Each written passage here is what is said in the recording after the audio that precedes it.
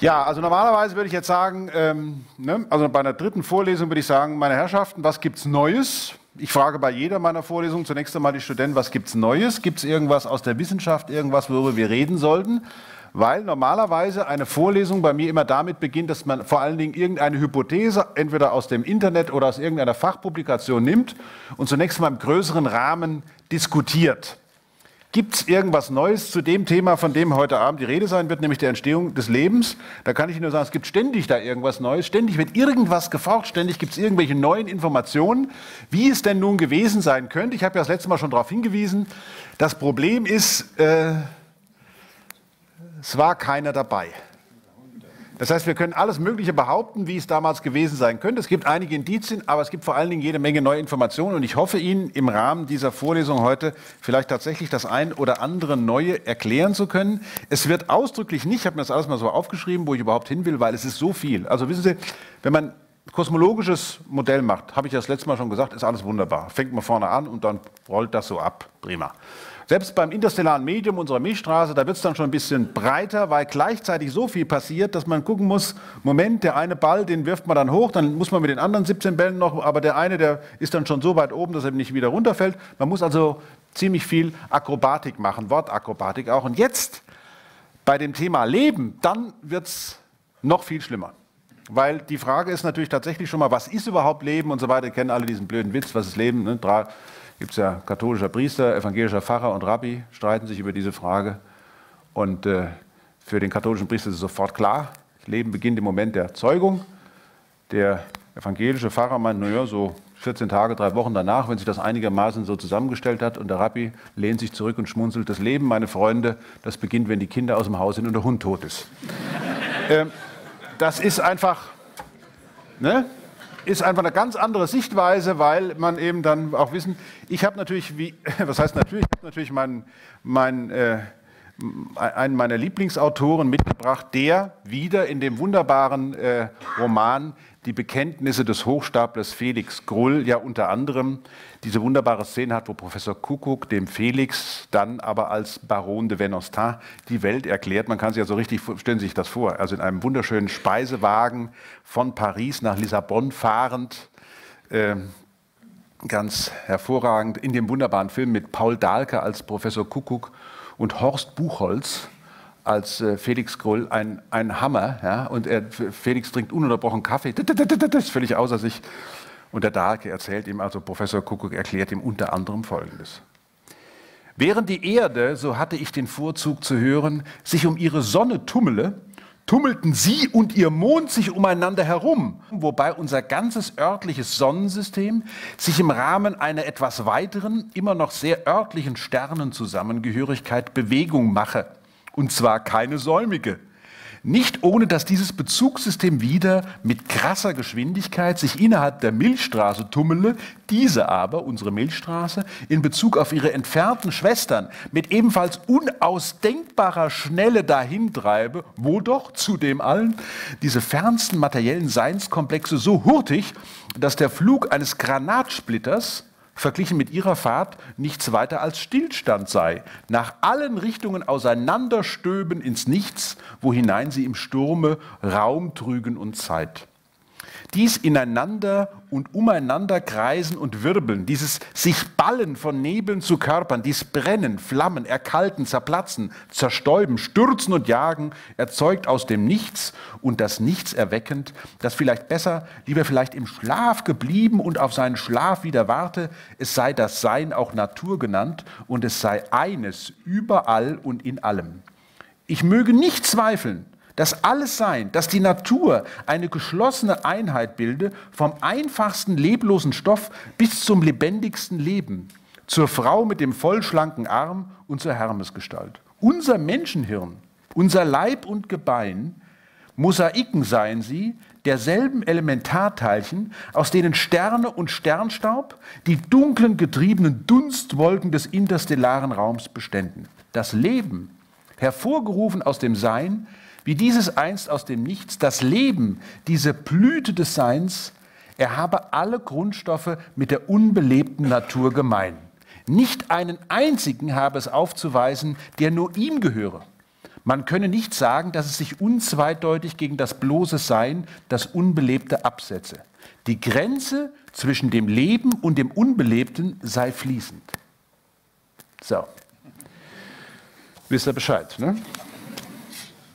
Das ist das große Problem, um das es heute Abend gehen wird. Wie um alles in der Welt kommt jetzt nicht der Geist in die Flasche, sondern wie kommt das Leben in die Materie? Wie kann es sein, dass, meine, auf die Spitze getrieben, wie kann es sein, dass Quarks anfangen zu denken? Ich weiß nicht, ob Sie sich noch erinnern, als das Universum damals entstand, also heute auf den Tag genau vor 13,7 Milliarden Jahren, wurden ja alle Teilchen gemacht, die in diesem Universum irgendwie mal ihr Unweisen, Unwesen treiben werden. Unweisen, also die, die waren nicht weise, die Teilchen. Unter anderem eben auch die Quarks, aus denen wir bestehen. Wir bestehen aus Up- und Down-Quarks. Das sind diejenigen Teilchen, die die Nukleonen aufbauen, also Protonen und Neutronen und auch noch aus Elektronen. Der Rest, den ganzen Rest der Elementarteilchenphysik, der ist für uns relativ unerheblich. Wir bestehen aus diesem Material. Und wenn man sich wirklich mal die Frage stellt, was für ein Unterschied besteht eigentlich zum Beispiel in einem Brikett aus, ich weiß nicht wie viel ähm, Kohlenstoffatomen und einer Pflanze, die aus genauso vielen Kohlenstoffatomen besteht. Man weiß es genau. Den Brikett, den kannst du, ähm, ne, kannst du zerschlagen und so weiter. Die Pflanze kannst du natürlich auch zerhacken, aber die Pflanze wird, wenn man sie von alleine, wenn man sie schön begießt und mit Nährstoffen versorgt, dann wird aus dieser Pflanze möglicherweise mehr werden. Sie wird sich ausbreiten in der Welt. Bei dem Briquet, da können Sie noch so viel Wasser draufkippen und können, können auch noch besprechen, so Warzenbesprechungen und sowas machen.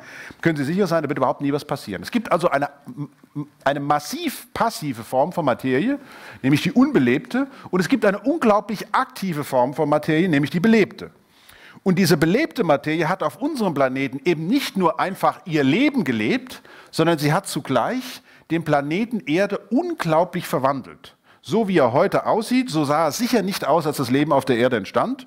Und alles, was wir heute wissen über die Urphase des, äh, des Universums, hätte ich fast gesagt, des Sonnensystems und seinen Bestandteil, nämlich den Planeten, deutet darauf hin, dass genau diese Bedingungen, von denen gleich noch die Rede sein wird, sogar die Voraussetzung dafür waren, dass überhaupt Leben entsteht. Heute kann kein Leben mehr entstehen, kein neues mehr. Denn wir leben in einer Atmosphäre, die viel zu giftig ist für die Lebewesen, die vor 4,56 Milliarden Jahren, das ist vielleicht ein bisschen zu früh, 4 Milliarden Jahren entstanden sind. Also fangen wir nochmal ganz langsam von vorne an.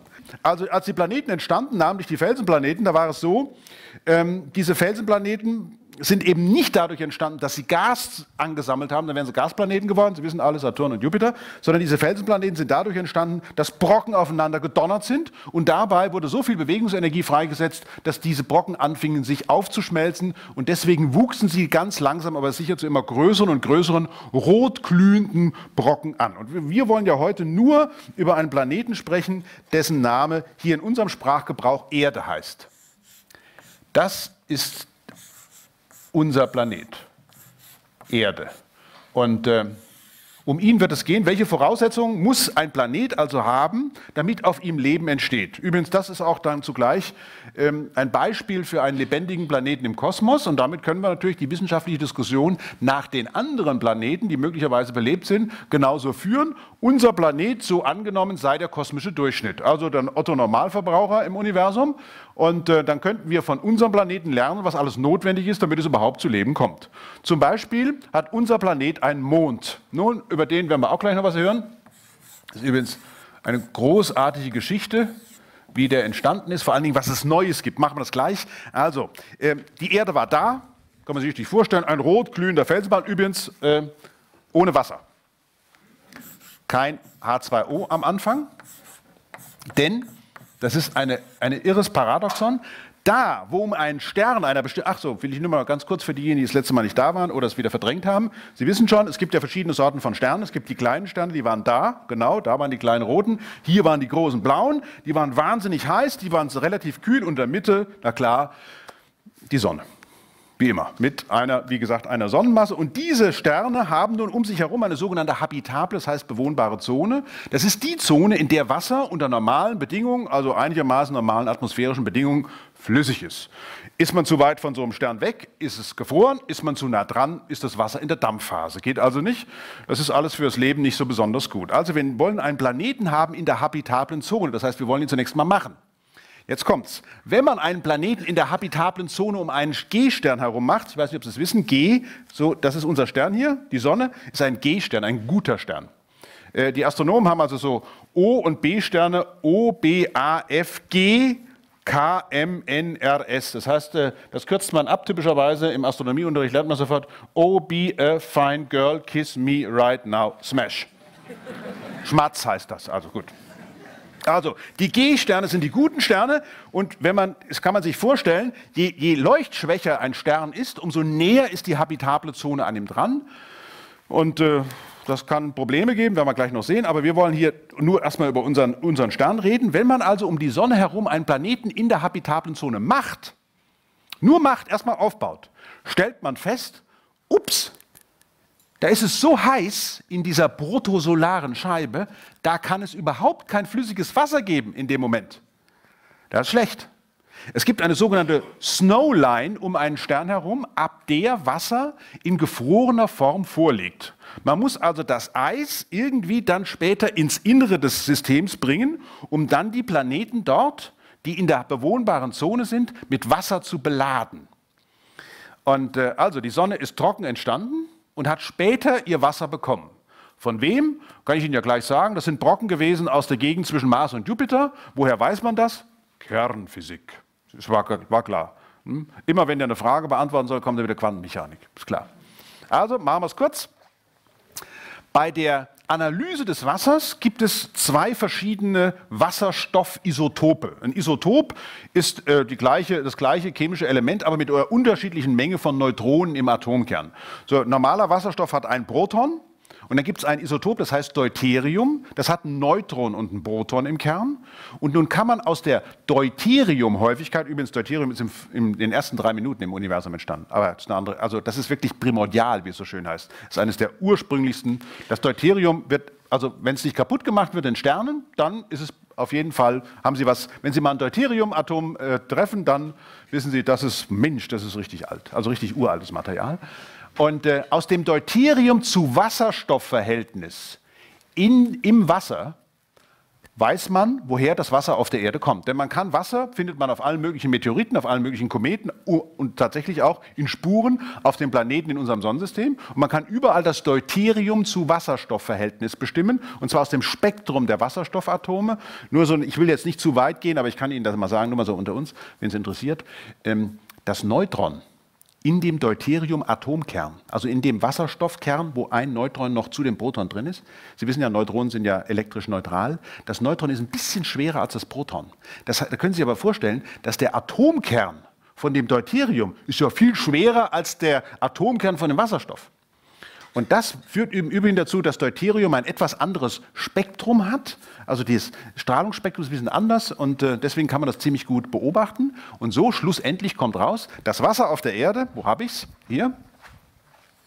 Das Wasser auf der Erde kommt von den sogenannten kohlischen Chondriten, von denen war schon die Rede beim letzten Mal, den Carbonaceous Chondrites. Die haben nämlich exakt das gleiche Isotopenverhältnis wie das Wasser auf der Erde. Cheers. Mmh. Vierter Einschlag. Mhm. Ähm, das heißt also, also hier ist übrigens auch Deuterium drin. Kriegt man nur nicht so einfach mit. Das heißt, wir wissen inzwischen, ein bewohnbarer Planet, wenn er Wasser braucht für Leben, wenn wir noch sehen, für was man das brauchen könnte, der muss das Wasser von außen bekommen. Das ist eine ganz wichtige Geschichte. Nun, was noch dazugehört ist, als die Erde dann entstanden ist, und sie völlig trocken war, dann später das Wasser bekommen hat. Das heißt, wir haben jetzt das Wasser, gut. Jawohl, das ist jetzt durch. Das war jetzt, das Didakt ist so, das ist so schön mit einer Tafel. Das kann man mit PowerPoint kann man es nicht so schön machen. Ne? Man sieht einfach, aha, jetzt hat er das und dann ist eine völlig ruhige Sachlage. Die Erde hat das Wasser und sie hat es von außen bekommen. Sie können sich natürlich vorstellen, dass es ein ziemlich zufälliger Prozess gewesen ist. Das sehen wir auch im Sonnensystem. Die Venus zum Beispiel ist quasi so schwer wie die Erde, ist ein bisschen näher an der Sonne dran, aber pff, von Wasser ist da nichts zu sehen, gar nichts. Der Mars hatte vielleicht mal welches, ist aber inkontinent, konnte es nicht halten, ist einfach weg.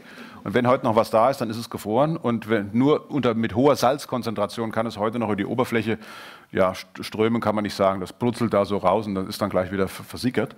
Aber wir haben Wasser und wir verdanken es offenbar verschiedenen Eigenschaften unseres Planeten, ähm, zum, vor allen Dingen seiner Masse. Er ist der schwerste Felsenplanet, die Erde ist der schwerste und er hat eben tatsächlich von diesen kohligen Chondriten Wasser bekommen.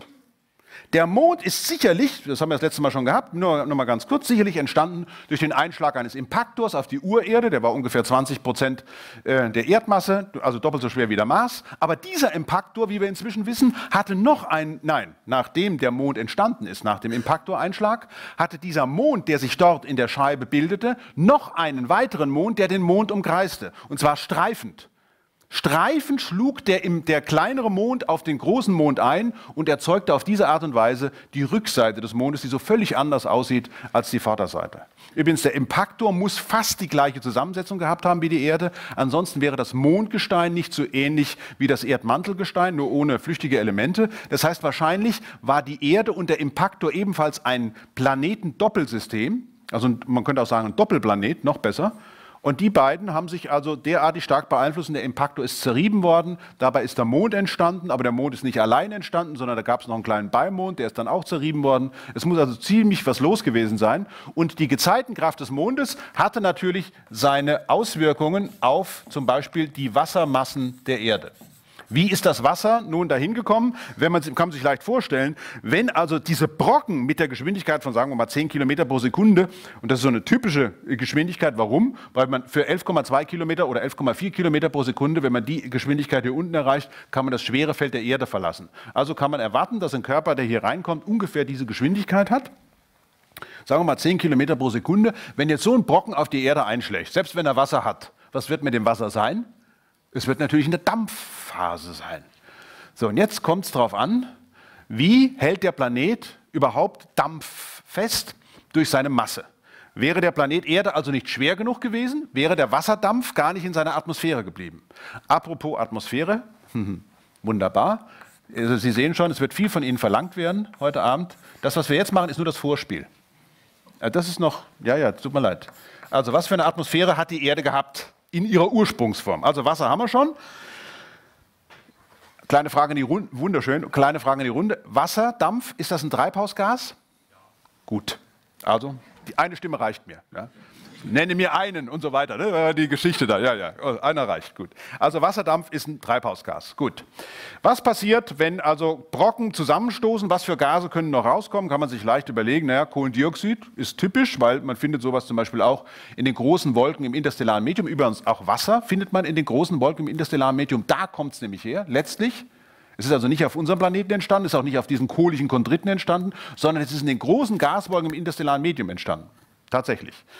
Ja, also wir haben Kohlendioxid, Wasser. Kohlendioxid und Wasser sind schon mal wunderbare Treibhausgase und dann Methan.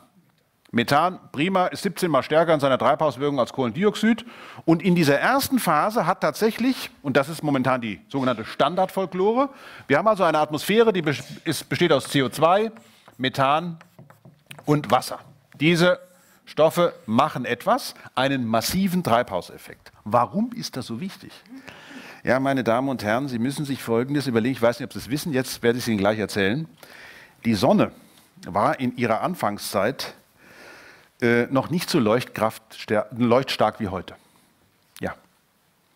Es gibt ein, also in dieser ganzen Geschichte der Entwicklung des Planeten bis hin zum Leben gibt es einige merkwürdige Paradoxien, wo man, wenn man sich also lang genug damit beschäftigt, dann hat man so das Gefühl, dann muss also, das muss erst durch einen Flaschenhals, dann muss es durch den nächsten Flaschenhals, dann muss es durch den nächsten Flaschenhals. Ich habe das mal damit verglichen, dass offenbar, damit auf einem Planeten mal irgendjemand so einen Vortrag halten kann wie ich heute Abend, äh, eine Rasierklinge auf einer anderen stehen muss und oben darf, sitzen wir alle drauf und wir dürfen nicht mit dem Hintern wackeln. Also bloß nicht. Das sind also Merkwürdigkeiten, die da sich abspielen. Eben jetzt unter anderem dieses Paradoxon, dass die Ursonne in ihrer ersten, sagen wir mal, in den ersten 500 Millionen Jahren deutlich leuchtschwächer war als heute. Woher wissen wir das? Naja, wir gucken einfach andere Sterne an. Andere G-Sterne, Sie wissen das schon, ne? G war der gute Stern. Wir gucken keine M-Zwerge an oder O-Riesen, sondern wir gucken G-Sterne an. Schöne, gelb-grüne, also jetzt nicht gelb von Neid, sondern, sondern ähm, gelbe, Sterne und schauen uns an, wie ist deren Entwicklung. Und wir wissen etwas über die Entwicklung dieser Sterne, wissen also, die sind in ihrer frühen Phase viel leuchtschwächer als heute. So, jetzt kommen Sie. Wie kriegen wir den Planeten, obwohl der Stern viel weniger strahlt als heute, also viel weniger Energie pro Quadratmeter abgibt als heute, wie kriegen wir den Planeten davor bewahrt, dass er vereist, global vereist? Denn Eis ist weiß und weiß ist schlecht, weil weißes Eis reflektiert dann alles, was da von draußen kommt, einfach wieder zurück. Das wäre eine Katastrophe. Das kann man auch wunderschön modellieren. Man kann sich also angucken, wie wäre so ein Planet aussehen, wenn man also, sagen wir mal, bei 75 oder 60 Prozent der heutigen Leuchtkraft, der Planet Erde wäre komplett vergletschert. Und das wäre eine Katastrophe gewesen, weil es hätte Milliarden Jahre gedauert, bis dieses Gletschereis, so hieß ja früher eine interessante Bonbonsorte, bis dieses Gletschereis äh, dann wieder aufgetaut worden wäre. Und von der Lebensentwicklung, die wir ja seit vier Milliarden Jahren beobachten können, wäre keine Rede gewesen. Hier hilft uns dieser massive Treibhauseffekt, dass nämlich diese Gase einen Treibhauseffekt verursacht haben, der tatsächlich die Urerde in der damaligen Phase, also ungefähr 200 Millionen Jahre nachdem sie äh, geboren war, davor, davor bewahrt hat zu verkletschern. Das war eine ganz, ganz wichtige Entwicklung, dass also durch Vulkanismus und durch die Ausgasungsprozesse insgesamt des Planeten es eben nicht nur dazu kam, dass Kohlendioxid da war, sondern auch jede Menge Methan. Und es haben sich also alle möglichen netten Kohlenwasserstoffverbindungen da oben in der Atmosphäre so zusammengebaut. Da gab es auch Dreck und Stäubchen und alles wunderbar. Der Planet wurde davor bewahrt, sich komplett ähm, mit einem Eismantel zu bedecken. Aber wir müssen irgendwie da rauskommen. Denn wenn wir jetzt nicht den Treibhauseffekt irgendwie abschalten, dann kommen wir in Teufelsküche. Woher wissen wir das? Wir schauen uns einfach die äh, Lady an, die im Innern des Sonnensystems um die Sonne herumkreist, um die Venus. Die wissen ja, die Venus war ja lange Zeit, also bis Anfang der 60er Jahre, wurde ja sonst was, also da äh, drüber nachgedacht, Venusianer, Venusianerin, der Planet der Liebe, man kann sich das schon vorstellen. Man dachte so an so Situationen wie bei uns so im Jura oder in der Kreidezeit, also vor 65 oder 100 Millionen Jahren. Da dachte man so, naja, so, da werden so riesige Schachtelhalme und so weiter und die Leutchen sind da zugange äh, und machen da alles und äh, alles unter einem völlig undurchdringlichen Wolken, einer sehr, sehr undurchdringlichen Atmosphäre. Und dann kam der Russe und hat die Sache geregelt. Eine russische Sonde hat dann zum ersten Mal gemessen, was da oben los ist. Nur Kohlendioxid in der Atmosphäre, bisschen Schwefelsäure.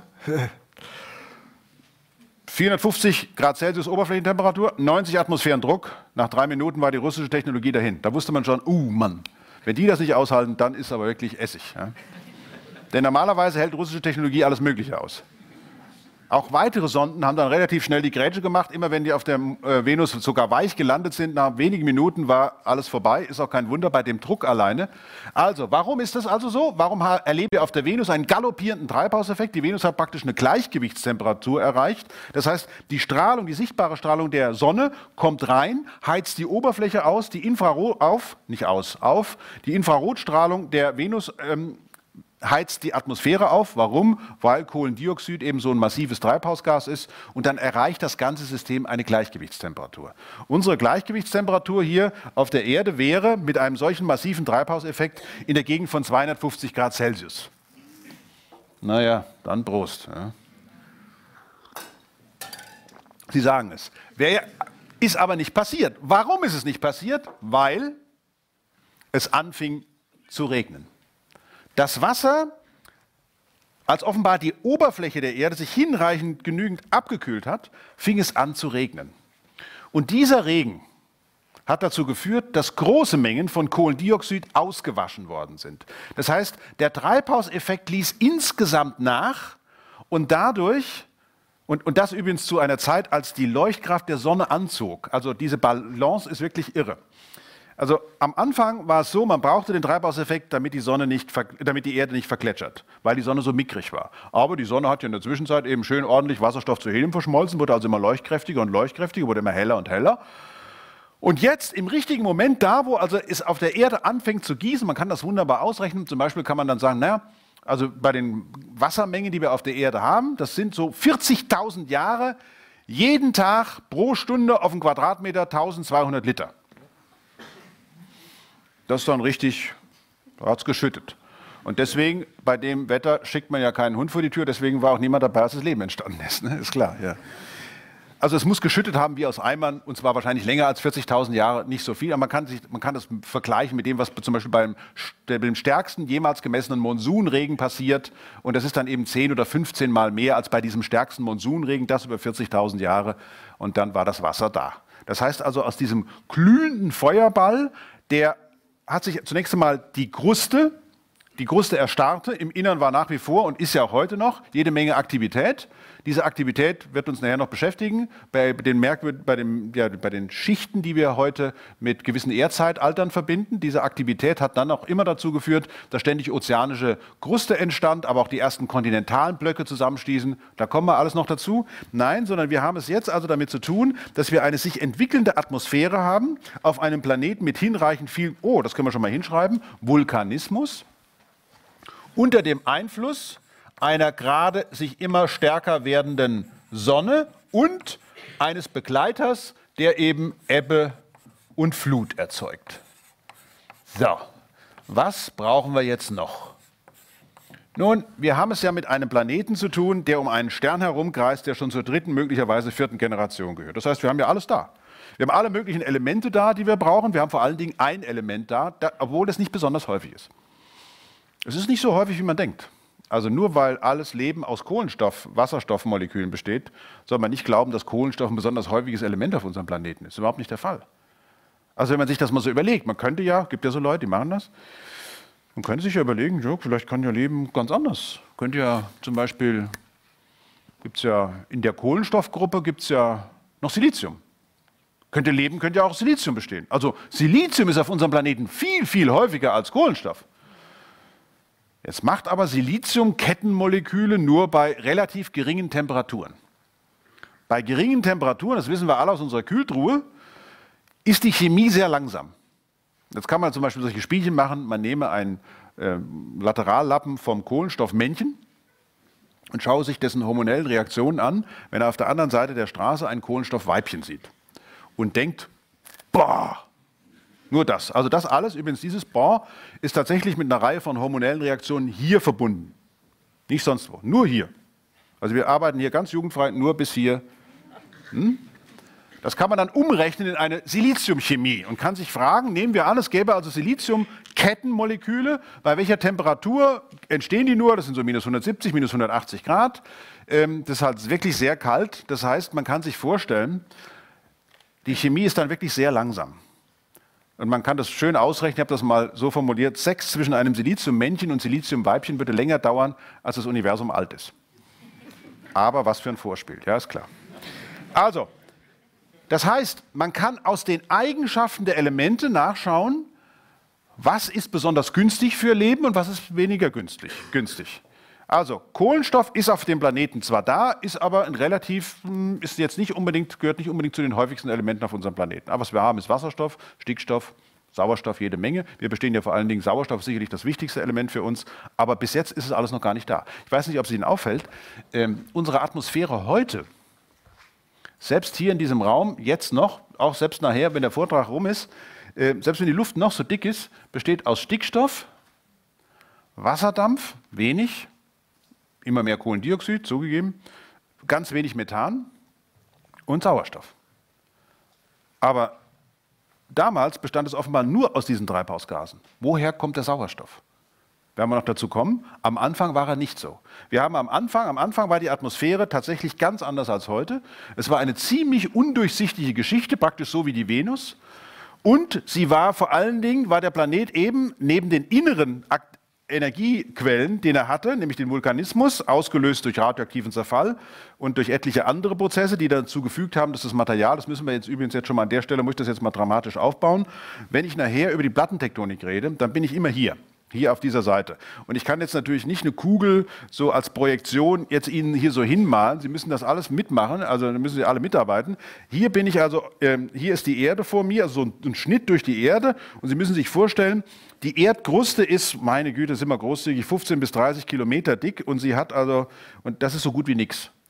Also angesichts eines Erddurchmessers von 12.000 Kilometern sind, mal, sagen wir mal, 12 Kilometer wären also wirklich gar nichts.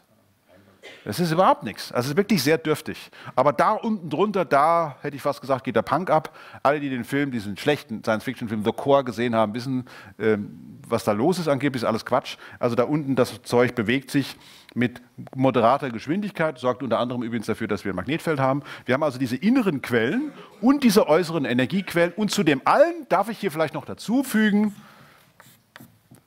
die Sonne. Wir haben also Energiequellen, die Hülle und die Fülle. Wir haben einen Planeten, der eine unglaubliche innere Intensität hat, eine innere Aktivität. Wir haben äußere Kräfte, die an diesem Planeten ziehen, denn der Mond ist in einem Abstand von, Gott sei mal großzügig, 40.000 Kilometer entstanden. Heute ist er zehnmal so weit entfernt. Das heißt, seine Gezeitenkraft war früher viel stärker als heute. Also die Erde ist richtig durchgeknetet worden durch den Mond. Der Mond ist natürlich auch durchgeknetet worden von der Erde, nur da sieht man heute nichts mehr davon. Aber damals spielte das eine große Rolle. Und zusammen mit der Sonneneinstrahlung, den großen Mengen an Wasser, den großen Mengen an Mineralien, die in dem Wasser drin waren, ja, blieb der Materie eigentlich gar nichts anderes mehr übrig, als sich irgendwie zu organisieren. Also das ist einer der ganz wichtigen Punkte jetzt dieser, dieser Vorlesung, nämlich die Frage, wie ist das Leben auf der Erde entstanden? Nach, dem, nach diesem physikalischen Vorlauf ist es jetzt eigentlich, glaube ich, überhaupt keine Frage mehr. Die Materie hat sich jetzt nicht versammelt und hat sich überlegt, was machen wir denn jetzt mit der ganzen Energie, die uns zur Verfügung steht? Mensch, Mensch, Mensch, Mensch. Wir haben ja Kerle, Kerle, Kerle, Kerle. Also alleine nur die Kraft, die in den Gezeiten steckt, würde ja Möglichkeiten geben, ganz neue Moleküle aufzubauen. Also, ich fange zunächst einmal mit einer etwas mit dem trockensten Teil der Vorlesung an, weil das ist jetzt ein Schlüssel, Kardinalstelle. Für einen Physiker ist Leben ein dissipatives Nichtgleichgewichtssystem. Ja, ich lasse das jetzt mal hier so wirken. Also es geht um die Worte Dissipation, vom lateinischen dissipare, verteilen und Nichtgleichgewicht. Und das mit dem Nichtgleichgewicht ist, glaube ich, in dem, hoffentlich in dem, in dem Vorlauf schon klar geworden. Nichtgleichgewicht heißt ja eben nicht Gleichgewicht. Ja? Sonst hieß es ja Gleichgewicht. Das ist ja logisch. Was meint jetzt der Mann, wenn er von Nichtgleichgewicht spricht? Nun, er meint, dass eben pausenlos Energie in so ein System reingepumpt wird. Und jetzt kommt's. Das können Sie übrigens in einem wunderbaren Buch von einem grandiosen Quantenphysiker nachlesen, Erwin Schrödinger. Der hat ein kleines Büchlein geschrieben, das heißt Was ist Leben? Das ist zwar, hat zwar schon ein paar Dekaden auf dem Buckel, gehört aber nach wie vor mit zum besten wissenschaftlicher Sachliteratur. Das ist einfach super geschrieben. Und Schrödinger war der Erste, der auf, diese, auf diesen Zusammenhang des Nichtgleichgewichts mit Leben hingewiesen hat. Schrödinger hat unter anderem diese wunderbare These aufgestellt, warum werden wir eigentlich alt? und müssen eines Tages ins Gras beißen. Sagt der Schrödinger, ja, das ist doch ganz einfach. Wir sind Vielteilchensysteme. Hm, auch ein Physikerwitz offenbar. Ähm, ja, wir sind Vielteilchensysteme und Vielteilchensysteme, da gibt es eben statistische Schwankungen. Also nicht alles funktioniert bei Vielteilchensystemen immer gleich. Und dass wir altern, hat eben mit den statistischen Schwankungen zu tun. Ganz einfach. Ist kein Wunder, dass wir altern. Wir, sind, wir bestehen aus so vielen Teilchen, da bleibt uns gar nichts anderes übrig. Alle Vielteilchensysteme altern. Nur wenn man ein Atom ist, das ist egal. Ein Atom hat überhaupt keinen, keinen Zeitbegriff, deswegen verwenden wir ja Atome für Atomuhren, um damit Zeit zu messen. Weil Atome selber, der ist immer dasselbe. Schon bei den Molekülen gibt es immer mal wieder kleine Umbaumaßnahmen. Das ist übrigens das, was auf der mikroskopischen Ebene dann mit Evolution zu tun hat. Dass immer mal wieder das ein oder andere Atom irgendwo an irgendein Molekül angebaut wird, schlupp, hat es andere Eigenschaften und schlupp kann es sich unter veränderten Umweltbedingungen möglicherweise erfolgreicher durchsetzen als ein anderes Molekül. Aber so ein einzelnes Atom oder nehmen Sie ein Proton. Erinnern Sie sich noch? Up- und Down-Quarks. Ja, das ist völlig wurscht. Dem Proton ist das völlig egal. Elektronen ist auch. Alle diese Elementarteilchen, die altern nicht. Aber sobald es gewisse Vielteilchensysteme gibt, dann taucht ein Alterungsprozess auf. Und so ist es nun hier dann. Leben ist, hängt davon ab, wie viel Energie hat es zur Verfügung? Und zwar nicht Energie insgesamt, sondern wie viel Energieunterschiede stehen ihm zur Verfügung. Nur die Energieunterschiede sind es, die es uns möglich machen, tatsächlich zum Beispiel Leistung zu erbringen und damit auch eine Arbeit zu leisten. Das heißt, jedes System, ob nun physikalisch oder biochemisch, muss ein gewisses Reservoir haben, um einen solchen Unterschied abzubauen. Wenn dann der Unterschied abgebaut ist, dann ist aus dem Nichtgleichgewicht ein Gleichgewicht geworden.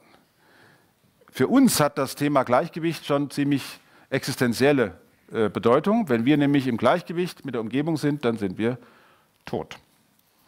Also um zu leben, müssen wir im Nicht-Gleichgewicht sein. Sehen Sie auch an sich selber. Stellen Sie sich mal, da draußen das Universum hat eine Temperatur von 2,71 Kelvin, also minus 271 Grad Celsius.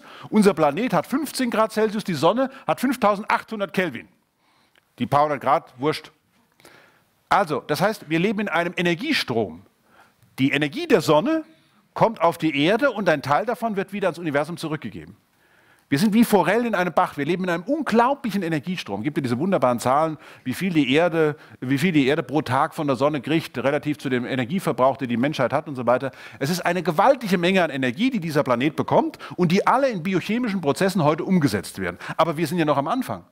Wir haben also bis jetzt nur dieses wahnsinnige Energiegleichgewicht hervorgerufen durch Vulkane, durch die Aktivität der Sonne, durch die Gezeiten und durch das ganze Sammelsurium an Stoffen, die sich jetzt nun in den Weltmeeren irgendwie zusammentun. Wir haben Moleküle noch und nöcher. Große Frage. Diese Urmeere, was war das? Was waren die Meere am Anfang? Waren die schon so wie heute oder haben die sich erst entwickelt? Neue These, wir haben Meere gehabt am Anfang, die aus Soda bestanden. Ja, und die haben sich ganz langsam in Kochsalzmeere verwandelt. Und das ist eine ganz großartige Geschichte. Wir brauchen nämlich beim Kochsalz brauchen wir natürlich Natriumchlorid. Das ist Kochsalz. Dann brauchen wir noch was. Vor ungefähr 700 Millionen Jahren oder vielleicht vor 650 Millionen Jahren sind die ersten Kalkskelette entdeckt worden, also gemacht worden. Wir haben sie dann später als Fossilien entdeckt. Woher kommt der Kalk? Kalk ist Calciumcarbonat. Aha. Das hätten wir auch gerne, damit wir unsere Skelette bauen können und dann hinterher sagen können, ach so, so war das. Wie kommen wir an diese Geschichten? Nun, wir nehmen Soda, also Natriumcarbonat. Und äh, was haben wir noch? Calciumchlorid. Wunderbar. Und dann kriegen wir das da. Bingo. Maseltoff. Sehen Sie, sehen Sie es. Also für all die, die diese Form nicht lesen können. Hier sind zwei Natrium. Natrium ist ein Alkalimetall, haben wir hier das Carbonat, Natriumcarbonat und Calciumchlorid. Die können sich in einer solchen Soda Kochsalzentwicklung in Kochsalz verwandeln. Jetzt haben wir aber zweimal Natrium, bingo, hier haben wir zwei Natrium, hier haben wir zwei Chlor, prima, also haben wir zweimal Natriumchlorid und einmal Calciumcarbonat, bing. Und das kann dann verwendet werden für Gips und ähnlichen Kram. Prima. Das heißt, es könnte sein, dass die Meere der, in der Phase, als das Leben entstanden ist, ganz anders aussahen von ihrem sogenannten pH-Wert. Der sagt etwas darüber aus, ob es nun besonders sauer gewesen ist oder besonders laugig, also basisch, als heute. Heute sind die Meere auch, aber nicht so schlimm wie damals. Also damals können die Meere, was diese und Nicht-Gleichgewichte betrifft, eine ganz wesentliche Rolle gespielt haben. Also letztlich geht alles nur noch darum, dass die Materie unter diesen Umständen, unter denen unser Planet entstanden ist, gar nicht anders konnte, als alle Kanäle zu besetzen, die es nur irgendwie gibt. Kanäle heißt jetzt alle Möglichkeiten, die ihm irgendwie zur Verfügung standen. Das heißt, es konnte nicht mehr dabei bleiben, einfach nur Gestein zu machen, sondern es waren so viele Moleküle unterwegs, dass es pausenlos zu irgendwelchen Neubildungen kam. Und jetzt kommt der Hammer. Es gibt Moleküle. Ich will jetzt nicht sagen, die sind so wie Sie und ich aber es gibt einfach Teile von Molekülen, die hassen Wasser. Die sind hydrophob.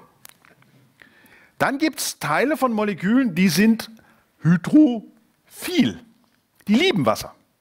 Das heißt, Sie können sich vorstellen, wenn viele von solchen Molekülen entstehen, dann wird natürlich der Teil des Moleküls, der Wasser liebt, der wird sich quasi nach außen zum Wasser hinzeigen, wird zum Wasser hinzeigen, während der Hasser der ist froh, wenn er mit Wasser nichts zu tun hat.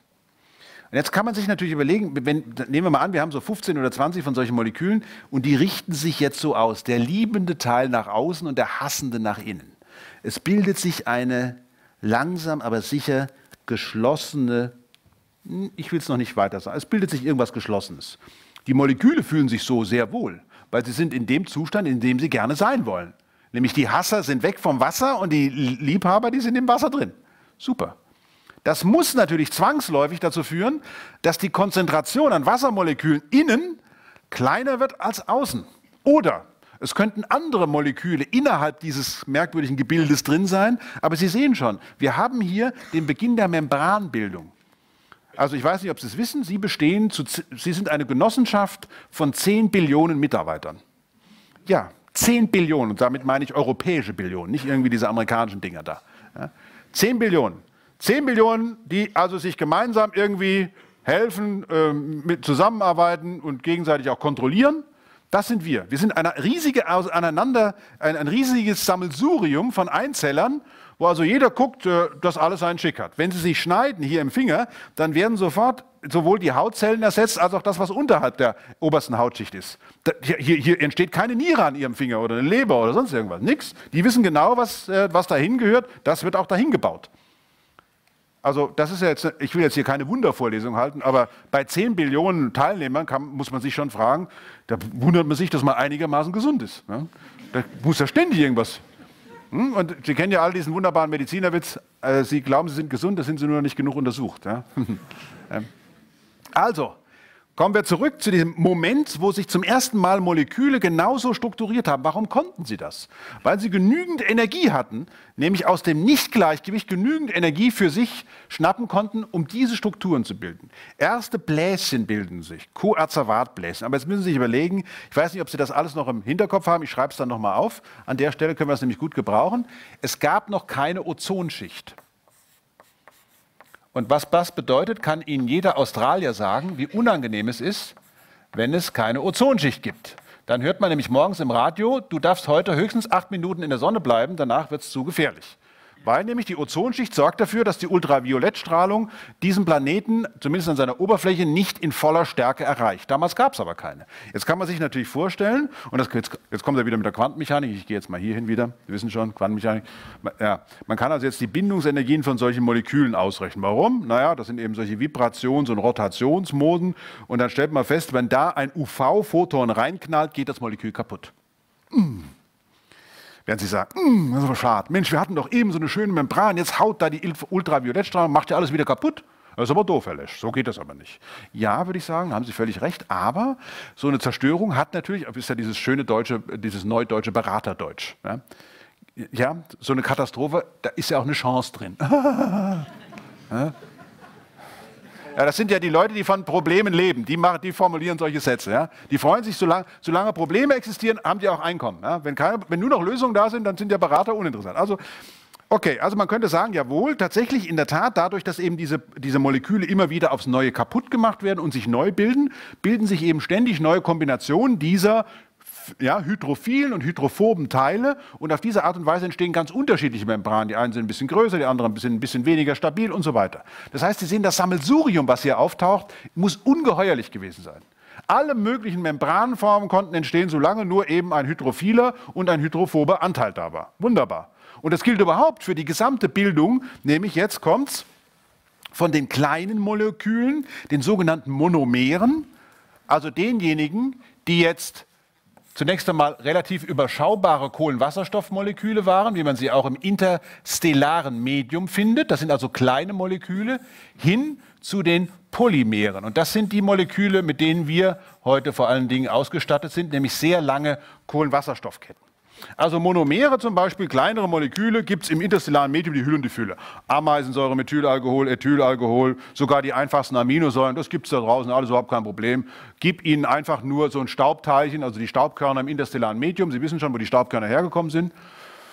Das war damals so, also es ist immer so. Die Sterne explodieren, die, Staub, die Hüllen, die sie abgeben, sind am Anfang sehr heiß, dann kühlen sie sich ab und es bilden sich Staubteilchen. Das sind vor allen Dingen Silizium, Wasserstoff und Kohlenstoffverbindungen. Und diese Verbindungen sind, die haben eine Struktur wie Norwegen, wie die norwegische Küste, ein Fjord neben dem anderen. Und in den Fjorden, in diesen Fjorden der Staubteilchen können sich eben alle möglichen Moleküle bilden. Also da, wo Staub ist, finden wir heutzutage auch wirklich alle möglichen Moleküle, nach denen wir suchen. Und zwar tatsächlich eine ganz kurze Anekdote zwischendurch, damit Sie sich vielleicht ein bisschen entspannen können, denn das ist jetzt doch ein bisschen viel. Wir kommen gleich zu den Polymeren zurück, keine Bange. Das ist ein wunderbares Beispiel für die Anwendung. Die Naturgesetze, die wir von der Erde kennen, gelten überall im Universum. Wir gehen in irgendein deutsches physikalisches Institut für Molekülspektroskopie. Ja, das heißt, in diesem Institut werden Moleküle dazu veranlasst, zu strahlen, also Strahlung abzugeben, aber auch zu absorbieren. Das heißt, wir kennen das Spektrum eines Moleküls.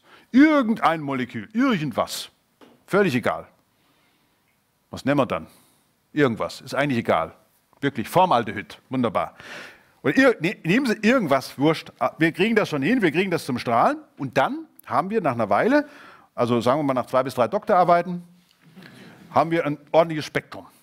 Wir wissen dann genau, wo das Ding strahlt. Dann fahren wir mit dem Spektrum, entweder im Koffer oder im Computer, fahren wir nach Granada, Sierra Nevada. Es leuchten die Sterne und so weiter. Ne? Wunderbar. In der Sierra Nevada steht ein 30-Meter-Spiegel von IRAM, das ist also eine europäische Einrichtung. Und mit diesem 30-Meter-Spiegel kann man Infrarotstrahlung empfangen. Jetzt nehmen wir also unser Spektrum, gucken wir an, was so die Hauptlinien sind und jetzt stellen wir den Spektrographen vom IRAM-Teleskop, Pico Veleta stellen wir ein. Also wenn Sie mal da unten sind, sollten Sie da mal hochfahren. Das ist eine großartige Strecke und man sieht also richtig, äh, unter welch harten Bedingungen Astronomen teilweise arbeiten müssen. Wirklich. Es ist katastrophal. Ich bin in der Nähe von Granada. Ne? Das Meer ist in der Nähe, macht, also das ist nicht schön, vor allem wenn man nicht hin kann. Ne? Ähm, also für die, die oben da arbeiten. Hm? Also wir stellen jetzt das Ding da oben ein und jetzt gucken wir zum Beispiel mal irgendeine Gaswolke an, die man mit dem Ding gut beobachten kann. Sagen wir mal die Orion-Gaswolke. Orion ist ja jetzt auch demnächst wieder am Himmel gut zu sehen. Ein wunderbares Sternbild, die drei Gürtelsterne vom Orion. Betelgeuse ist gerade, äh, ist dann ähm, oben rot zu sehen. Wunderbar. Übrigens ein schwieriges, kleine Anekdote innerhalb der Anekdote noch für die, für die Amateurastronomen hier. Betelgeuse schrumpft. Das sollte uns zu denken geben. Sterne, die schrumpfen, hm, beißen nicht, ich weiß, aber die können explodieren. Aber der ist weit genug von uns entfernt. Aber wenn der explodierte, der ist 600 Lichtjahre von uns entfernt, wow. ja, der Himmel hier war es los. Ich hoffe nur, dass es nicht im Sommer passiert. Dann sehen wir hier in Europa nichts. Das wäre blöd. Also im Winter wäre schön. Da hätten wir den Betelgeuse schön am Himmel wieder dann da so auseinanderfliegt. Grandios. Also wir gucken mit unserem IRAM-Teleskop in eine solche Gaswolke an. Und was soll ich Ihnen sagen?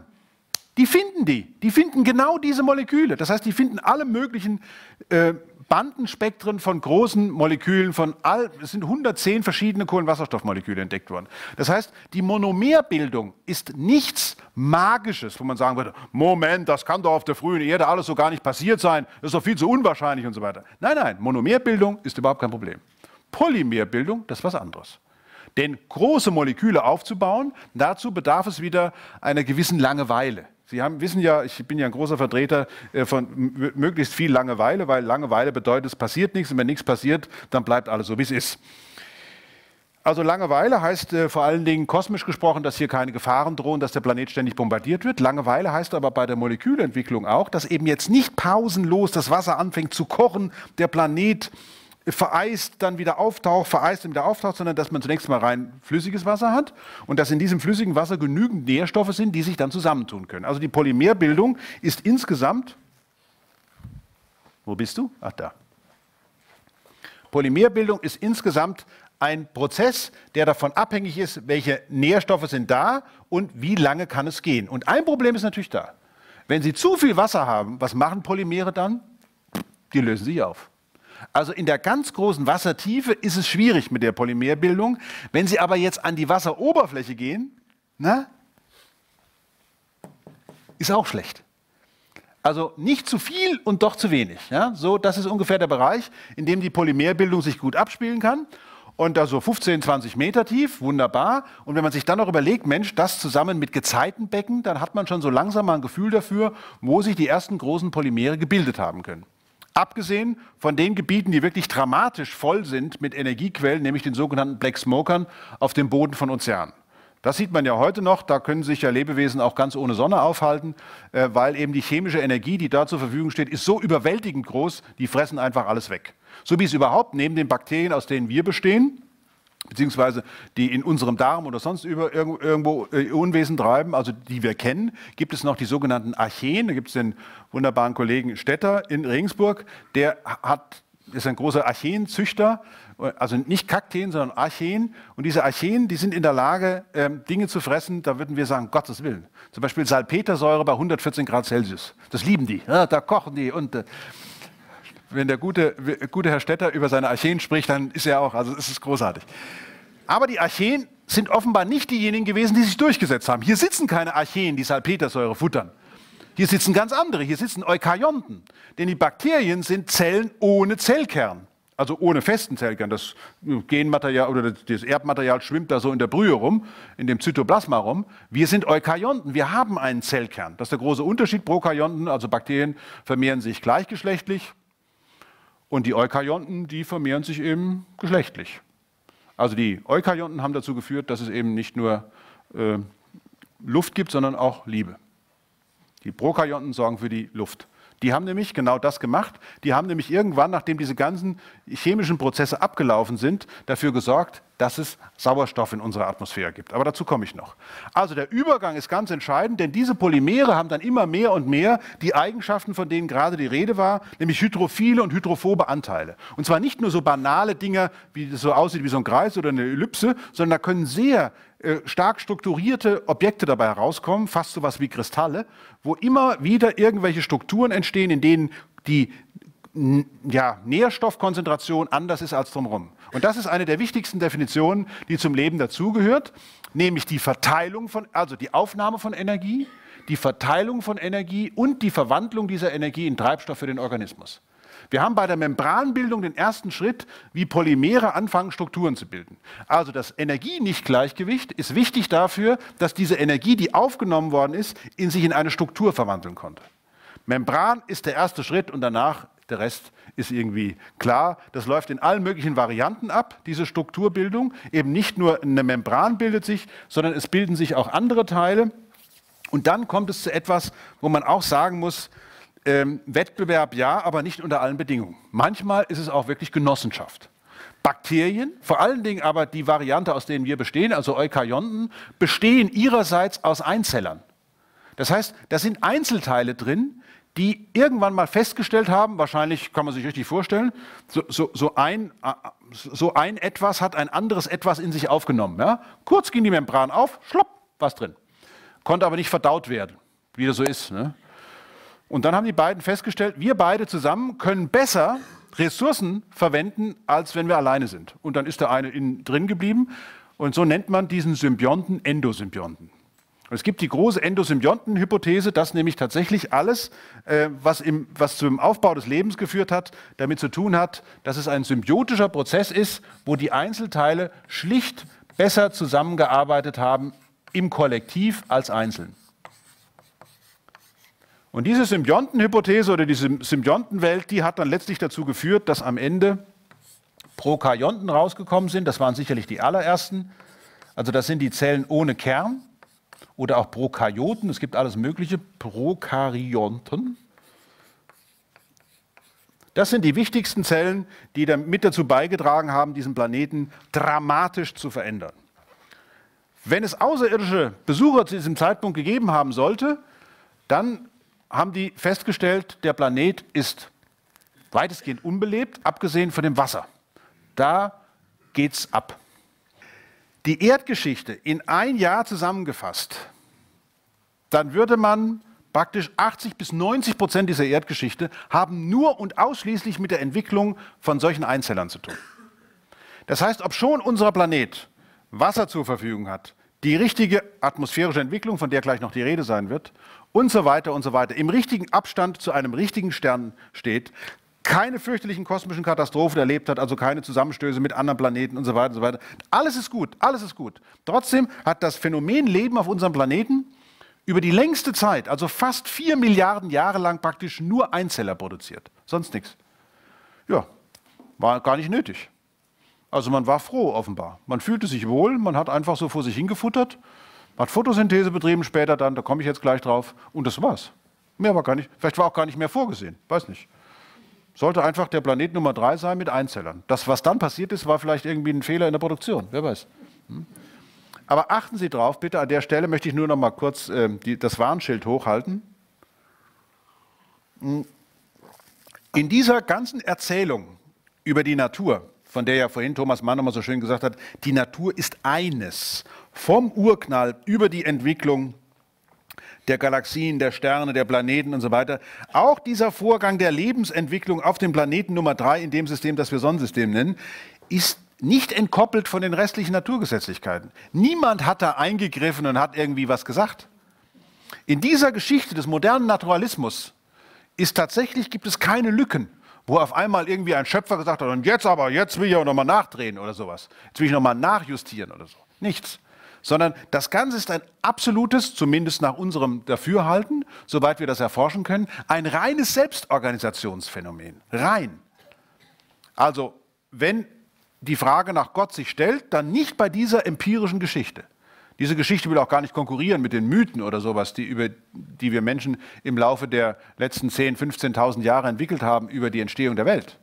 Da werden existenzielle Fragen angesprochen, die unser Dasein in diesem Hiersein betreffen und äh, da verwenden wir alle möglichen Bilder. Nein, was wir hier haben, ist eine Hypo Aneinanderreihung von Hypothesen, die sich dadurch gegenseitig stützen, dass wir eine Reihe von Experimenten, Beobachtungen und Indizien haben, die also das Ganze so zusammenbauen, dass man sagen kann, also der Zeuge, wenn er lügt, dann lügt er verdammt gut vor dem Gerichtshof der Naturgesetze.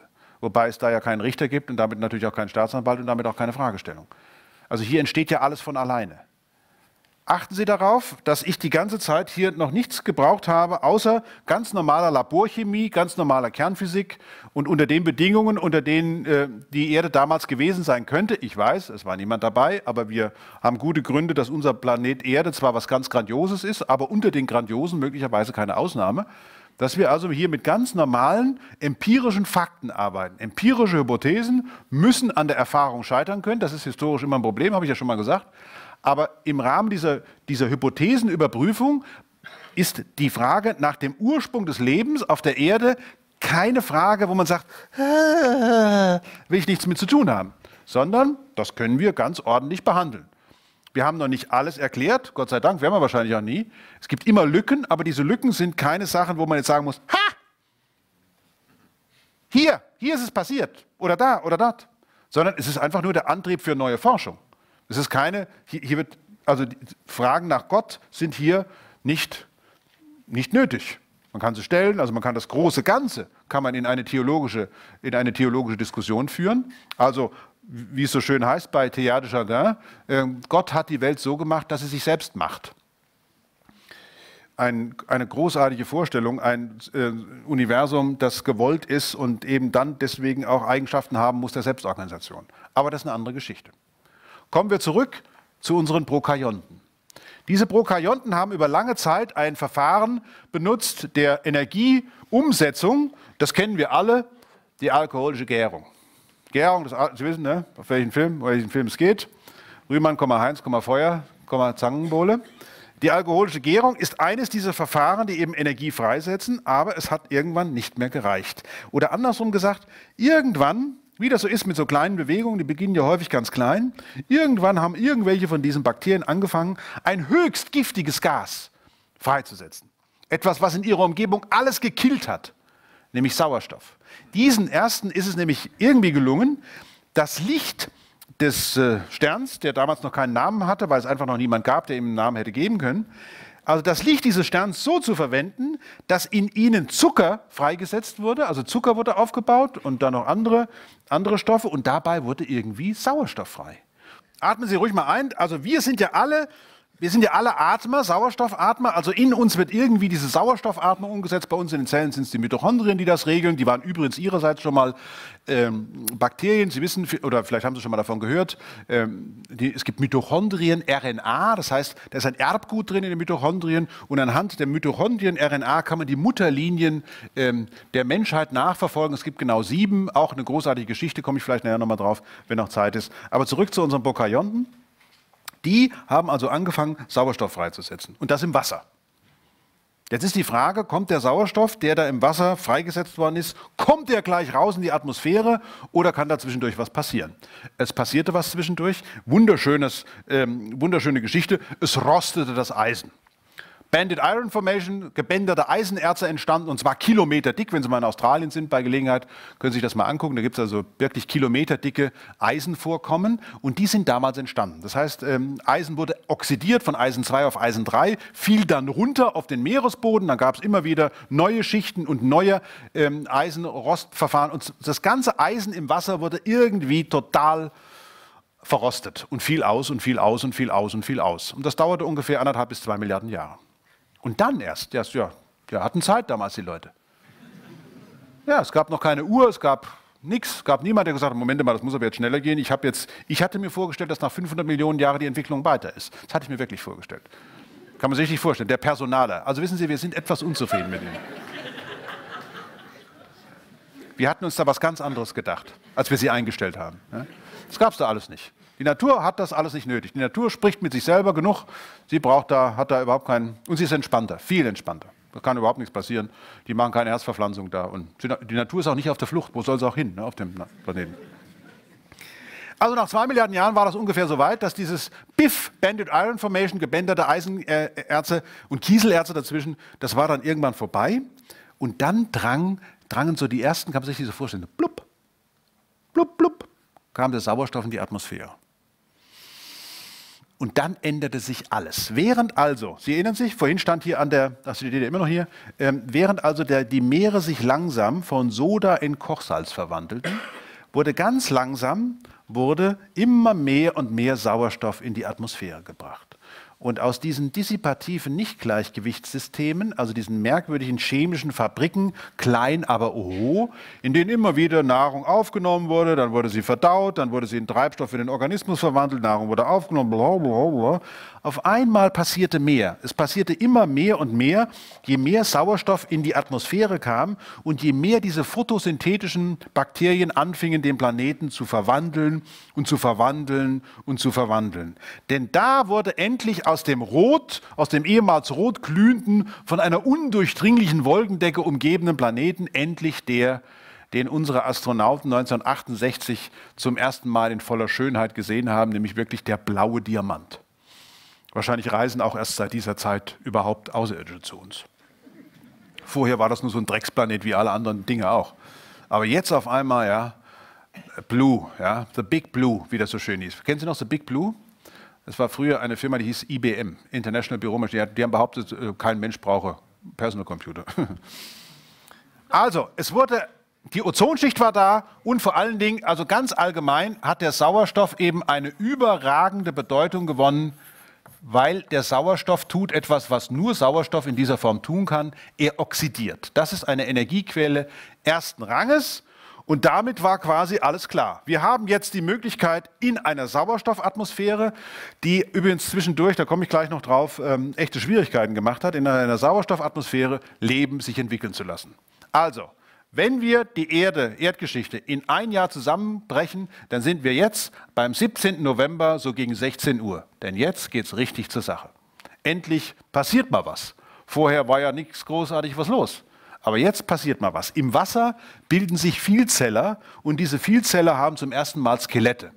Und diese Vielzeller können alle anderen Vielzeller, die keine Skelette haben, schon mal in sich aufnehmen. Das heißt, sie werden immer größer, immer erfolgreicher. Das spricht sich rum, das Verfahren, dass das Auffressen von anderen ein erfolgreiches Verfahren ist. So entstanden also die ersten Fleischfresser während immer noch die ganzen Bakterien auf dieser Welt nach wie vor ihren Job machen und Sauerstoff produzieren. Und dadurch, dass sie Sauerstoff produzieren, ist immer genügend Sauerstoff in der Atmosphäre für das Ozon. Sie wissen, Ozon ist nicht Gleichgewichtsmolekül. Wenn man da nicht ständig Sauerstoff nachliefert, dann geht es kaputt. Man braucht also ständig diesen Sauerstoffproduzenten. Und äh, vor allen Dingen, irgendwann war mal so viel Sauerstoff äh, in der Atmosphäre, beziehungsweise es waren so viele Skelette da, und so viel Viecher im Wasser, dass es doch tatsächlich die ersten gab, die haben mal so die Fühler ausgestreckt, ob es nicht vielleicht angenehmer wäre und auch viel bequemer, wenn man an Land ginge. Weil an Land wären diese Viecher, die da im Meer sich so rumtreiben, die könnten da nicht hin. Also die Ausbreitung des Lebens aufs Land, übrigens zuerst die Pflanzen naturgemäß, das waren die ersten, die also geflüchtet sind vor diesen fürchterlichen Umständen im Meer. So, so geht es ja nicht weiter. Das war auch so eine Bewegung. Occupy the Land hieß es damals. Und ähm, so ging es nicht weiter. Diese Fressgier und so weiter, das ginge nicht so und äh, haben sich dann da aus dem Meer zurückgezogen. Aber jetzt müssen Sie sich mal überlegen, was das bedeutet hat. Für Organismen, die es gewohnt waren, zum Beispiel in reiner Flüssigkeit vor sich hin zu sein. Und jetzt auf einmal müssen sie draußen an Land dafür sorgen, dass sie die Flüssigkeit nicht verlieren. Also die müssen auf einmal Schutzzellen bilden, wie man das zum Beispiel beim Baumstamm sehen kann. Da gibt es als nächstes Mal Zellen, die sorgen dafür, dass all diese Leitungen, die in so, einem, in so einem Organismus drin sind, dass die geschützt sind vor irgendwelcher Verdunstung. Ansonsten vertrocknet das ja. Es muss dafür gesorgt werden, dass, ja, vorher war alles im Wasser, Nährstoffe, du konntest einfach mal, was essen wir denn heute? Hat man einfach reingezogen, was da war. Ne? Jetzt auf einmal musst du gucken, wie kriegst du denn diese Nährstoffe, die eben noch zur Verfügung standen, die Hülle und die Fülle, wie kriegst du die über Wurzel in dich rein? Ich meine, dass es nachher irgendwelche Viecher gab, die gesagt haben, also die haben das ja alle schon in sich reingezogen, die fresse ich. Das ist eine Geschichte für sich, das kommt dann später. Aber am Anfang waren es tatsächlich die Pflanzen, die angefangen haben, das Land zu bevölkern. Ungefähr 450, vor 450 Millionen Jahren sind die ersten Pflanzen an Land gegangen. Aber dann, dann ging aber was los dann wurde eine Biomasse geschaffen, das war dramatisch. An Land ist eine ungeheure Menge an Biologie passiert. Wahnsinn. Also die, hat, die haben ja gesehen, Mensch, hier ist ja Platz, nichts wie, also alle Zonen wurden, wurden besiedelt und ähm, alsbald waren dann eben auch die Tiere da und so weiter. Man kennt alle diese Bilder, wie also diese Lurche dann so an, an Land schlappen, dann wachsen ihnen langsam äh, alle möglichen äh, Beine und äußeren Gliedmaßen und dann den Rest brauche ich Ihnen gar nicht erzählen. Dann kommen diese Viecher, äh, ja, Trias, Kreide, Jura und so weiter, ähm, also nicht, Trias, Jura, Kreide ähm, und, und die, das will ich gar nicht. Zwischendurch ist aber eine Geschichte passiert, die ist wirklich hochinteressant, wie das so ist. Ähm, also 450 Millionen Jahre, jetzt muss ich nachgucken, wann war der Carbon? Weiß das jemand auswendig?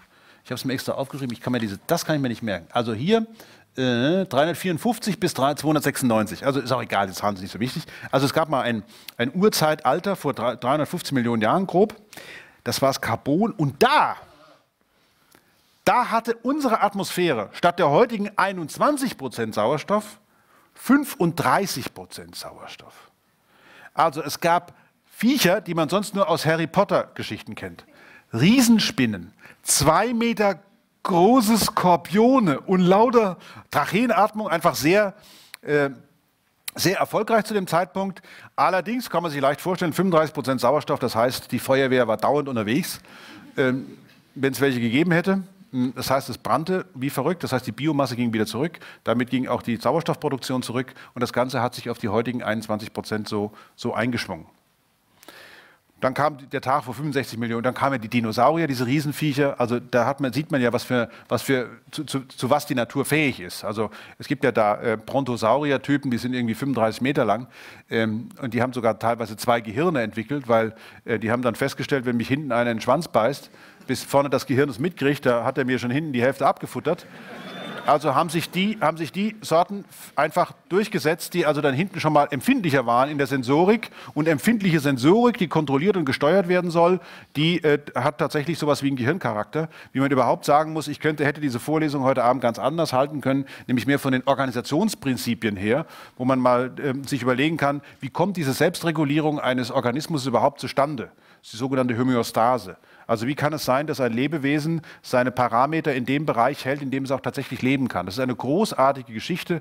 Und wenn Sie sich mal äh, zwischendurch in den Spiegel gucken, schauen Sie sich mal an, äh, lieben Sie sich. Das ist großartig. Es ist der Hammer. Es ist der absolute Hammer. Also was mit uns alles passiert, damit unsere Temperatur, Blutzucker, Säuregehalt, Kohlendioxidgehalt und so weiter, dass das einige alles in dem Bereich ist, in dem wir es brauchen, dass wir sagen können, ja, ich lege mich hin, komm, ich bin zu müde und so weiter. Ähm, das ist, schon, das ist schon großartig und das passiert ja auf der allerkleinsten zellulären Ebene schon. Also dieser Überlebenswille, der da da ist, der ist wirklich dramatisch. Und wie, die, wie macht die Natur das? Indem sie eben Sensoren einbaut. Das heißt, wir bewerten pausenlos die Entwicklung in unserer Umwelt. Und diese Sensorik, die führt dann dazu, dass wir reagieren, dass wir sogar Vorhersagen machen können, wie Dinge sich entwickeln werden. Und das hat insgesamt eben tatsächlich bei den Sauriern dann zu diesen massiven Viechern geführt. Aber das ist ja dann ein, an dem Tag, wo es so gehagelt hat, vor 65 Millionen Jahren zu Ende gegangen. Die hatten ja schlechte Zeit und so weiter. Und Sie wissen, wie es dann weitergegangen ist. In der Zwischenzeit, äh, also vor ungefähr 200 Millionen Jahren, kam ja so ein kleines Spitzmäuschen auf die Welt. Und aus diesem Spitzmäuschen ist ja alles geworden, was säugetiertechnisch auf dem Planeten so geworden ist. Brauchen wir nicht drüber zu reden. Also in dem sogenannten Tertiär, ist dann bis vor 2,6 Millionen Jahren war das, sind alle möglichen Säugetiere auf dem Planeten gewesen. Sind wir mal großzügig, wir gehören zur Ordnung der Primaten, Unterordnung Trockennasenaffen, Familie der Menschenaffen. Also wir sind erstmal Primaten, dann kommen die Trockennasenaffen, ist wunderbar. Also bleiben wir bei den Trockennasenaffen. Da muss also vor sieben Millionen Jahren was passiert sein, weil aus diesen Trockennasenaffen irgendwo in Afrika ist irgendwas irgendwas geworden. Also wir zum Beispiel äh, gehören mit dazu. Eine, eine großartige Geschichte, die aber einen extra Vortrag verdankt und den ich, die auch ich nicht ordentlich erzählen kann. Da müssen Sie Josef Reichhold fragen, der mit seinem Rätsel der Menschwerdung einfach hier Standards gesetzt hat. Die sind unerreicht und äh, wenn Sie darüber was hören wollen, dann hören Sie den Reichholdschen Vortrag, weil das ist nicht zu überbieten. Ja, aber was haben wir denn heute? Wenn wir also in diese Phase zurückgehen, äh, wir haben äh, angefangen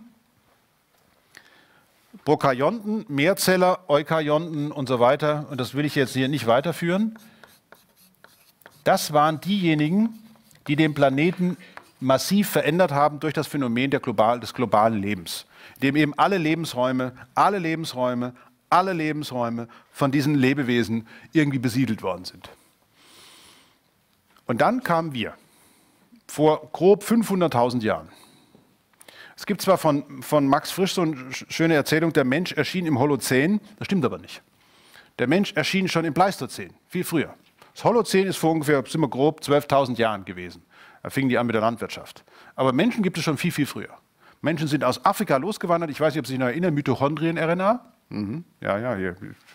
Ja, der kriegt alle, alle diese Fäden wieder zusammen, keine Bange. Und äh, Mitochondrien-RNA, sieben, sieben Mutterlinien. Wenn wir tatsächlich 500.000 Jahre alt wären, dann erzählen uns die Genforscher, müsste es eigentlich viel mehr Mutterlinien geben. Warum nur sieben? Diese sieben, sieben Mutterlinien führen in eine Zeit zurück von vor ungefähr 70.000 Jahren. Da ist in Ostafrika offenbar was passiert. Sind nur noch ein paar übrig geblieben von uns. Vorher müssen es mehr gewesen sein. Also da sind nur ein paar übrig geblieben. Warum? Weil in Indonesien ein Supervulkan explodiert ist, Toba. Und Topa hat vor 72.000 Jahren auf unserem Planeten eine solche Abkühlung verursacht, dass fast jeder Homo sapiens und jede Homo sapienserin ins nicht vorhandene Gras gebissen hat dann. Da sind vielleicht 1000 Leute übrig geblieben. Und diese 1000 Leute sind die sieben Mutterlinien, aus denen alles geworden ist an Menschen, was auf unserem Planeten heute lebt. Also alles hat sich über die Kontinente verteilt. Vor ungefähr 12.000 bis 15.000 Jahren ist Amerika besiedelt worden, von Alaska runter bis nach Südamerika.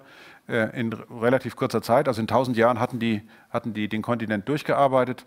Ähm, und das ist natürlich schon was Besonderes, denn das hat die Welt verändert. Das, was wir heute haben, nach dieser massiven Veränderung durch die Eukaryonten, durch alle möglichen Lebensentwicklungen, ist das, was hier jetzt im Mittelpunkt unserer heutigen Debatte steht, ist das sogenannte Anthropozän das Erdzeitalter des Menschen. Wir sind eine Spezies auf dem Planeten Erde geworden, der in geologischen Dimensionen gedacht Veränderungen hervorruft. Und zwar nicht nur dadurch, dass wir die Atmosphäre mit sehr viel Treibhausgas belasten, sondern dass wir heutzutage auch fast die gesamte Landfläche, wo immer wir irgendwie Nutzen finden können, benutzen, dass wir die Meere durchfischen, wie wir wollen oder wie wir können, gerade noch ebenso. Das heißt, wir verändern den Planeten Erde ganz gewaltig. Und zwar wirklich in allen Bereichen. Wir sind das Säugetier, das Lebens, leben kann unter Umständen, unter denen kein anderes Säugetier leben kann. Wir können uns in, in Räume hinein vorarbeiten durch eine ganz neue Form von Evolution, die es uns möglich macht, unter Wasser genauso zu existieren wie zum Beispiel in der Luft. Wir selber können nicht fliegen, aber wir können Maschinen bauen, die uns fliegen lassen. Wir können nicht besonders schnell laufen, aber wir können Maschinen bauen, die schneller fahren als irgendein Lebewesen auf dem Planeten. Und, und, und. Das heißt, es ist etwas Neues passiert. Neben der biologischen Entwicklung ist eine neue kulturelle Entwicklung passiert. Das heißt, mit unserem Erkenntnisapparat von der Hutgröße 60 aufwärts oder rauf oder runter ist es uns gelungen, ganz wesentliche Erkenntnisse über den Aufbau der Welt so zu verwenden zu unserem Nutzen. Wir verhalten uns genauso wie die Prokaryonten und Eukaryonten. Wir sorgen uns um die wichtigsten Dinge in unserem Leben, Nahrung organisieren, das heißt mit anderen Worten Ressourcen organisieren, diese Ressourcen verbrauchen und sie in Treibstoff für den eigenen Organismus zu verwandeln. Wir arbeiten genauso wie alle Lebewesen auf diesem Planeten. Wir sind eben tatsächlich die Familie der Menschenaffen. Wir gehören zu dieser Familie und wir arbeiten so wie alle Tiere. Wir versuchen tatsächlich die Ressourcen auf diesem Planeten auszunutzen für unser Dasein, zu unserem Nutzen. Aber mit dem Phänomen des Bewusstseins und des Geistes sind auf einmal aber auch, ja, wie soll man sagen, gedankliche Möglichkeiten aufgetaucht, die sonst kein anderes Tier hat. Nämlich die Frage, soll ich wirklich das tun, was mir die natürlichen Triebe vorgeben, oder sollten wir uns domestizieren? Kulturelle Evolution hat sehr stark was mit Domestikation zu tun. Dass wir uns eben nicht mehr, sobald wir irgendjemand, mit irgendjemandem im Streit liegen, ihm sofort den Schädel einschlagen, sondern wir fangen an zu argumentieren. Nimm doch mal mein Argument und so weiter. Schon allein das Phänomen der Sprache, dass wir einen Kehlkopf haben, der tief genug liegt, sodass wir tatsächlich Laute von uns geben können, die von den anderen verstanden werden können. Nicht immer, aber immer öfter. Das ist schon mal ein, ein ganz wichtiges Zutun zu diesem, zu diesem kulturellen Sprung. Und in den letzten 50 Jahren muss man sagen, oder vielleicht sind wir, sind wir ein bisschen gröber, schauen wir uns die letzten 500 Jahre an. Also eine Kultur, nämlich die europäische, hat alle anderen Kontinente auf dem Planeten entdeckt. Keine andere Kultur hat das bis heute getan. Europa ist nie entdeckt worden. Die Chinesen sind mit ihren Riesentschunken rumgefahren, sind aber kurz vor Ostafrika gesagt, komm, hat auch keinen Wert, wieder zurück nach Hause und haben, haben diese Expeditionsreisen nie mehr unternommen. Die Indianer aus Südamerika sind nicht losgefahren, nur wir sind losgefahren. Unsere verrückten Jungs, schauen Sie sich die Liste dieser Leute an. Unter den Bedingungen, unter denen die ihre Weltreisen gemacht haben, ihre Entdeckungsreisen, würde man heute keinen dazu kriegen, sowas zu tun. Wir haben so nicht mehr alle in Taschen. Genau, man muss offenbar leicht neben der Spur gehen, um tatsächlich so ein Ziel zu erreichen. Aber wir haben es erreicht. Wir haben tatsächlich, wir wissen heute was, dass wir alle in einem Boot sitzen. Dieses wunderbare Bild der Apollo 8 Astronauten vom Dezember 1968 ähm, ist ein Symbol dafür geworden, dass wir tatsächlich heute wissen, wir sind hier. Wir sind die Bewohner dieses Planeten und wir sorgen dafür, hoffentlich, dass dieser Planet noch lange Zeit ein so wunderbarer Planet bleibt. Das heißt, zu dieser kulturellen Evolution zählen eben nicht nur all die Triumphe, die unser Erkenntnisapparat hervorgebracht hat, mit Hilfe der empirischen Wissenschaften, die sich entlang einer solchen kosmischen Zeitstrecke vollziehen, sondern es ist noch eine andere Denkrichtung aufgetaucht, nämlich die Denkrichtung nicht nur die des Prometheus, der voranschreitet in seinem Fortschritt, in seinem technischen, wissenschaftlichen Fortschritt, sondern auch die Denkrichtung des Epimetheus. Das ist derjenige, der zurückschaut, der immer wieder die Frage stellt, sind wir eigentlich da, wo wir hin wollten, oder haben wir zwischendurch die Richtung verloren? Das ist derjenige, die Spaßbremse gewissermaßen, der immer sagt, hört mal, müssen wir das eigentlich machen? Sollten wir vielleicht nicht mal den Ball ein bisschen flacher halten? ein bisschen vorsichtiger sein mit den Ressourcen. Man denke an die, Bild, an die ersten Bücher, die in den 70er Jahren geschrieben worden sind. Ende des Wachstums, ein Planet wird geplündert und so weiter. Das war der Beginn einer ganz neuen Denkrichtung für Lebewesen, die es bis dahin gewohnt waren, einfach immer nur weiter und weiter und weiter und weiter und weiter zu machen. Wir sind heute in der Lage, mit Hilfe der empirischen Wissenschaften unsere Lebensumstände auf unserem Planeten für alle Menschen so zu gestalten, dass sie gerecht sind und dass es friedlich bleibt und dass alle genügend haben. Und ich glaube, die ganze Geschichte des Kosmos erzählt uns an dieser Stelle eigentlich nur eins. Meine Güte, wir haben, euch, wir haben uns eine solche Arbeit mit euch gemacht. Jetzt vermasselt es nicht alles. Baut keinen Scheiß. Dankeschön.